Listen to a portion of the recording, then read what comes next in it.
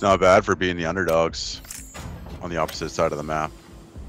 Trying to fight the What motorcycle? Alright, I'm out, dude. Okay, GG's. Jeez.